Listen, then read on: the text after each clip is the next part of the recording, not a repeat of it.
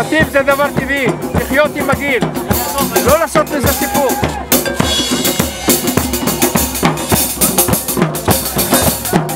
תגיד, אתה רואה את הצילומים, את הוידאו, אתה רואה? יפה, אתה בווידאו עכשיו.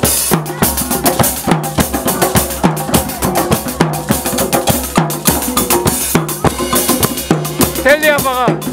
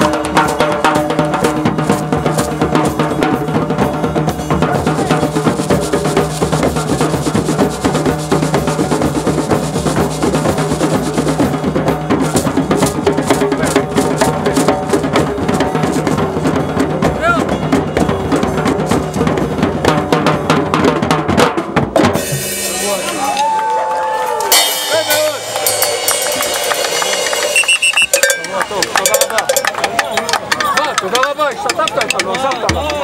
בכיף, כל הכבוד.